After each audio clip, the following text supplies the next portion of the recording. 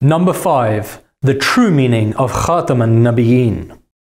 Contrary to the commonly held false interpretation of Khatam being last in time, the true meaning of the Prophet Muhammad, peace and blessings be upon him, being the Khatam an-Nabiyyin or seal of the prophets, as per Quran chapter 33 verse 41, is that he is the signet ring of Allah the Exalted. This is the actual meaning of the word seal. In other words, after the coming of the Holy Prophet Muhammad, peace and blessings be upon him, he is the means of spiritual impress upon others, and following him and his law is the only route to spiritual exaltation. However, by definition, a seal or signet ring cannot truly be called as such unless it imprints its form onto others.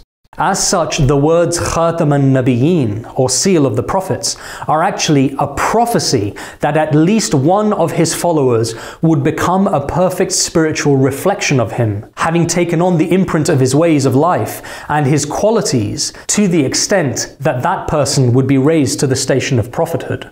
This is clarified in the verse of the Quran where Allah the Exalted states, And whoso obeys Allah and this messenger of His shall be among those on whom Allah has bestowed His blessings, namely the prophets, the truthful, the martyrs, and the righteous. And excellent companions are these.